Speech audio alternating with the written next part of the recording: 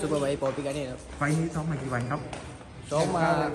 ประมาณสามสี่อาทิตย์ครับก็มาเต้นแล้วก็ซ้อมรอรายการตลอดอืมอ๋อ นี่เรามาแทน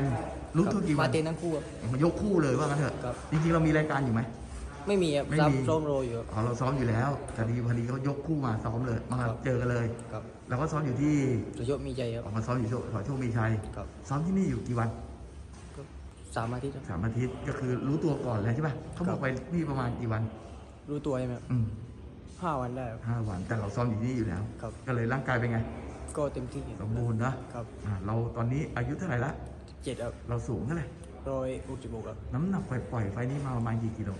ห้าสิบสี่ครับอืมเรามวยสไตล์อะไรครับฝีมือครับแล้ววันนี้เราเจอกับ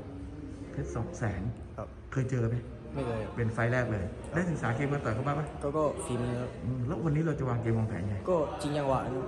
ใจเรียกว่าครับชิงกันก่อนว่าใครถึงก่อน ครับเปิดโควิดมานี่เราต่อยไปทั้งหมดกี่ไฟล์แล้ว แล้วต่อยเมื่อเดือนมิถุนายนครับโอ้นานแล้ว ล่าสุดคือต่อยแล้วปิดโควิดเลย ครับ ตอนนั้นเจออะไร เจอแสงอาทิตย์ครับเป็นไงบ้างเสมอครับเสมอกันมา ตอนนั้นต่อยเวทเท่าไหร่ร้อยแปดครับร้อยแปดวันนี้ต่อยร้อยร้อยแปดครับอ๋อเวทเดิม ครับ น้ำหนักนี่จะมีปัญหาไหมถ้าเข้าไปสอบ ไม่มีครับคิดว่ามาเกินหรือมาขาดมาเกินไม่เยอะไม่ตึกบอลครับ คือเหมือนมาวิ่ง ครับ แต่คือพร้อมแน่นอน ครับ แต่ตอนที่หยุดโควิดไปนั่นไปไหนอะ